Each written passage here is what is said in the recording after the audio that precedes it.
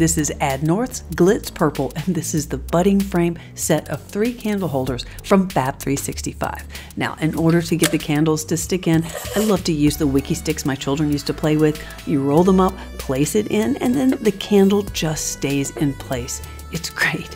The set comes in small, medium, and large, but there's also another set called the blooming frame, and here they are in the tall and the medium. We glue them together and look at these beautiful candle holders in this shimmery iridescent purple that has this glow and hint of silver. It's really a beautiful filament. This gift box by Rudy. Oh no.